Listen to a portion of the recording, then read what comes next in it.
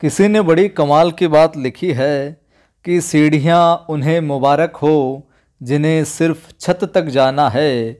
मेरी मंजिल तो आसमां है, रास्ता मुझे खुद बनाना है। नमस्कार, जय हिंद साथियों। सामाजिक अध्ययन की जो अपनी मैराथन सीरीज़ चल रही है, सीरीज़ संख्या आज चौवन। और साथियों, ये जो नया पाठ्यक्रम है, उसी के अनुसार आपको करवाया जा रहा है। तो वीडियो को आप लाइक कर दें और सभी ग्रुप में सभी साथियों के साथ शेयर कर दें। प्रश्नों के साथ साथ में आपको डिटेल व्याख्यात्मक रूप में भी बताया जा रहा है ताकि कोई भी प्रश्न है जो आपका छूटे नहीं। सरकार और गठन कार्य ये जो यूनिट है, यहाँ से राष्ट्रपति वाला पार्ट अभी चल रहा है। प्रारंभ करते हैं। कई बार वीडियो का नोटिफिकेशन नहीं आता है तो आप या तो यूट्यूब अपने चैनल पर आकर देख लिया करें, या फिर अपना टेलीग्राम चैनल है कवि आदि गणेश हिंदी नाम से। इसको ज्वाइन कर लें ताकि मैं वीडियो अपलोड होने के तुरंत बाद ये लिंक यहाँ पर शेयर कर देता हूँ। तो यहाँ से आपको सूचना मिल जाएगी। और जो राजस्थानी शब्दों वाले वीडियो चल रहे हैं, उनकी पीडीएफ भी जल्द आपको टेलीग्राम चैनल पर उपलब्ध करवा दी जाएगी। प्रारंभ करते हैं पहला सवाल आज का। राष्ट्रपति के वेतन का उल्लेख किस अनुच्छेद में है? अनुच्छेद बासठ, अनुच्छेद तिरसठ, अनुच्छेद चौंसठ या फिर किसी में नहीं है? यहाँ पर चौंसठ कर लीजिए आप। क्या उत्तर हो जाएगा? उत्तर हो जाएगा यहाँ पर द। किसी भी अनुच्छेद में नहीं है। जो ये वर्णन है, ये वर्णन अनुसूची दो केंद्र है। संचित निधि से मिलता है, अनुसूची दो में है। और अभी वर्तमान में लेटेस्ट कितना क्या कुछ मिलता है, सारे आंकड़े आपको लेटेस्ट बताए जा रहे हैं। राष्ट्रपति का जो वेतन, वर्तमान वेतन, वो है पाँच लाख। उपराष्ट्रपति का वेतन जो है चार लाख। राज्यपाल का तीन पॉइंट पाँच, यानी कि साढ़े तीन लाख, और पीएम साहब का दो लाख। ठीक है, ये लेटेस्ट वेतन है।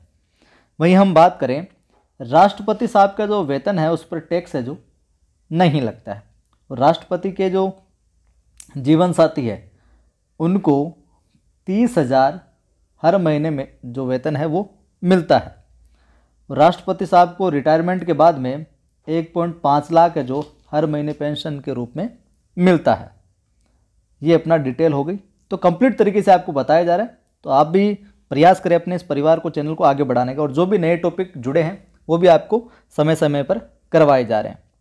दिल्ली में रायसीन पहाड़ी पर स्थित राष्ट्रपति भवन किसने बनवाया था? भारत सरकार ने, एडविन लुडविन ने, डफरिन ने, या इनमें से कोई नहीं?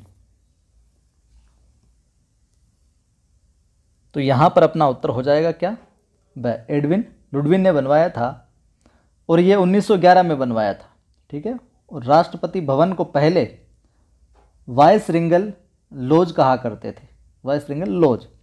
और इसमें सबसे पहले रहने वाले व्यक्ति थे लॉर्ड इरविन। कौन? Lord Irwin. अगला सवाल देखिए। मिलान करना है आपको।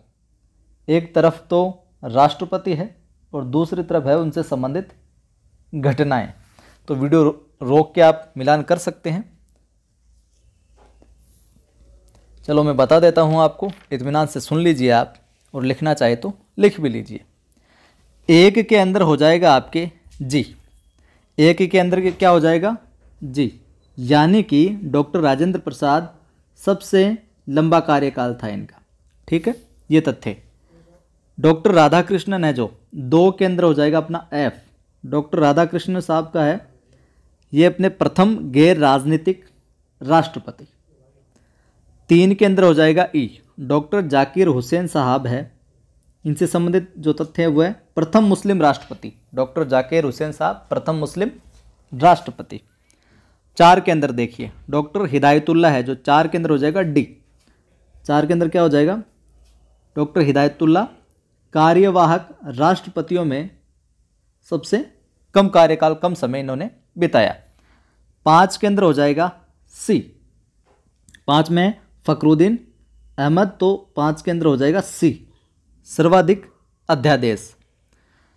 छः के अंदर हो जाएगा अपना बी, नीलम संजीव रेड्डी साहब, सबसे कम उम्र के राष्ट्रपति। और ज्ञानी जेल सिंह सात के अंदर हो जाएगा फिर ए सबसे कम पढ़े लिखे, यानी जेल सिंह। आगे देखिए। कुछ और तथ्य देख लेते हैं। मतलब छोड़ा कुछ नहीं है, सारा कुछ आपको प्रश्नों के माध्यम से ही करवा दिया जा रहा है। एकमात्र निर्वाचित व मनोनीत राष्ट्रपति की बात आए तो डॉक्टर राजेंद्र प्रसाद। प्रथम कार्यवाहक राष्ट्रपति की बात आए तो वीवी गिरी साहब। मात्र एक माह चार दिन, कार्यकाल वाले राष्ट्रपति मोहम्मद हिदायतुल्ला जो हमने ऊपर बात की थी। राष्ट्रपति फकरुद्दीन के कार्यकाल में 35 अध्यादेश जारी किए गए। सबसे ज़्यादा अध्यादेश ऊपर हमने मिलान किया था तो 35 फकरुद्दीन के समय बयालीसवां संविधान संशोधन हुआ और दसवीं सूची जेल सिंह की, ज्ञानी जेल सिंह के समय जोड़ी गई थी। दसवीं सूची में क्या है? दल बदल कानून है। ये चीज़ें भी आप ध्यान में रखिएगा। अगला सवाल देखिए। वे राष्ट्रपति जिन्होंने चार प्रधानमंत्रियों के साथ काम किया, वी वी गिरी साहब, रामास्वामी वेंकटरमण शंकर दयाल शर्मा, के आर नारायण। तो क्या उत्तर हो जाएगा? वे राष्ट्रपति कौन है? उत्तर हो जाएगा बै स्वामी वेंकट रमन देखिए साहब, और इनके समय जो पीएम रहे हैं, वो रहे हैं राजीव गांधी साहब, वीपी सिंह साहब, चंद्रशेखर और नरसिम्हा राव। ठीक है, ये चार हो गए। और इनके समय इकसठवां संविधान संशोधन हुआ था। ठीक है, इकसठवां। आगे देखिए साहब आप। निम्न में से भारत के प्रथम दलित राष्ट्रपति थे।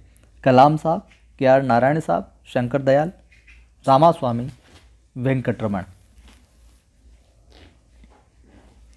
उत्तर हो जाएगा यहाँ पर अपना ब, के आर नारायण साहब। फैक्ट देख लें आप ए पी जे अब्दुल कलाम साहब, दूसरे गैर राजनीतिक राष्ट्रपति। एशिया की पहली महिला राष्ट्रपति, श्रीलंका की चंद्रिका कुमार तुंगे थी। और रामनाथ कोविंद साहब दूसरे दलित राष्ट्रपति। अगला सवाल है अपना। रामनाथ कोविंद साहब को राष्ट्रपति चुनाव में कितने सांसदों का वोट मिला? 522, 525, 600 या 300 तो यहाँ पर अपना सही उत्तर हो जाएगा ए 522 सांसदों का। कोविंद साहब को 522 यहाँ पर लिखने में गलत होगी। 522 सांसद व चौबीस हज़ार चौबीस सौ माफ़ कीजिएगा, चौबीस सौ आठ विधायकों के मत है जो मिले थे। मीरा कुमार को 225 सांसद व 1619 विधायकों के मत मिले। अगला सवाल है, भारत के ऐसे राष्ट्रपति जिनको राष्ट्रपति बनने से पूर्व भारत रत्न मिल चुका था, डॉक्टर राधाकृष्णन, जाकिर हुसैन साहब एपीजे अब्दुल कलाम साहब, सभी।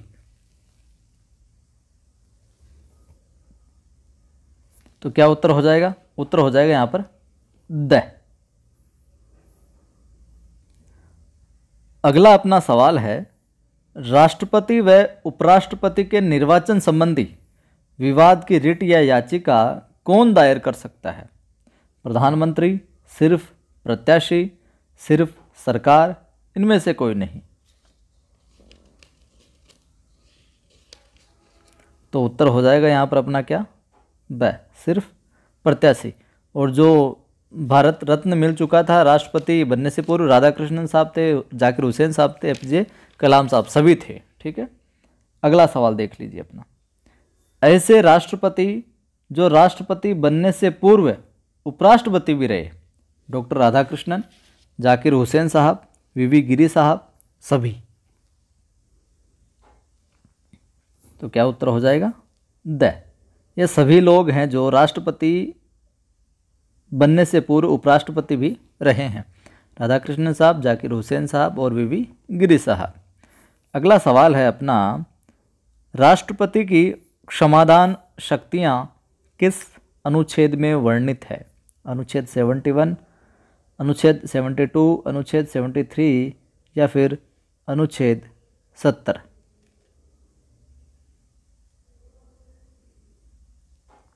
उत्तर हो जाएगा ब सेवेंटी टू के अंदर, बहत्तर में। देख लीजिए आगे, आर्टिकल सेवेंटी के अंदर, राष्ट्रपति रिक्ति के समय उपराष्ट्रपति का प्रावधान है, ठीक है? अनुच्छेद सत्तर में। अनुच्छेद इकहत्तर की हम बात करें तो राष्ट्रपति व उपराष्ट्रपति के निर्वाचन विवाद सुप्रीम कोर्ट में सुने जाते हैं। ये बात लिखी गई है। अगला सवाल है, राष्ट्रपति की शक्तियाँ कितने भागों में विभाजित है? तो सीधा उत्तर बता दो मैं इसको। दो भागों में, क्योंकि नीचे लिखा हुआ है, सामान्यकालीन शक्तियाँ और आपातकालीन शक्तियाँ। पूछा जा सकता है, इस तरीके से भी सामान्य सवाल है। अगला है, किस अनुच्छेद के अनुसार कार्यपालिका का संवैधानिक प्रधान राष्ट्रपति होता है? ये किस अनुच्छेद में कहा गया है कि कार्यपालिका का संवैधानिक प्रधान है जो राष्ट्रपति होता है? बावन में, चौवन में, तिरपन में या फिर छप्पन में। उत्तर हो जाएगा स, अनुच्छेद तिरपन में यह वर्णित है। अगला सवाल है, राष्ट्रपति प्रधानमंत्री की सलाह पर मंत्रिपरिषद का गठन करता है, किस अनुच्छेद में? उल्लेख है। अनुच्छेद 74 अनुच्छेद 155 अनुच्छेद 316 या फिर अनुच्छेद 324 उत्तर हो जाएगा ए, अनुच्छेद 74 में ये बात है कि राष्ट्रपति जो है प्रधानमंत्री की सलाह पर ही मंत्रिपरिषद का गठन है जो करता है। वीडियो को लाइक नहीं किया आपने तो कर दें और शेयर भी कर दें। नीचे फैक्ट देख लेते हैं। अनुच्छेद 155 में राष्ट्रपति राज्यपालों की नियुक्ति करता है। राष्ट्रपति क्या राज्यपालों की नियुक्ति करता है? किसमें? 155 में। और अनुच्छेद 316 के अंदर राष्ट्रपति, संघ, लोक सेवा आयोग के अध्यक्ष व सदस्यों की नियुक्ति भी करता है। ये थे इस सीरीज़ में कुछ विशेष सवाल। शेयर कर देना सभी को। पहली बार हैं, आए हैं चैनल पर तो सब्सक्राइब करके बेल आइकन को भी क्लिक कर लेना। और कंप्लीट इंग्लिश की ग्रामर रीट हेतु और टीचिंग मेथड्स जो नए जुड़े हैं, माफ़ कीजिएगा, वो टॉपिक भी करवा दिया गया है। मनोविज्ञान की अस्सी से ऊपर है जो टेस्ट सीरीज़ करवाई हुई है। ये सामाजिक टेस्ट सीरीज़ चल ही रही है अपनी। हिंदी की शिक्षण विधियाँ अपलोड की जा चुकी है। और भी बहुत सारा इंपॉर्टेंट रेट है तो जो मैटर है अपने चैनल पर आपको मिल जाएगा। तो जुड़े रहें और सभी साथियों को जोड़ते रहें।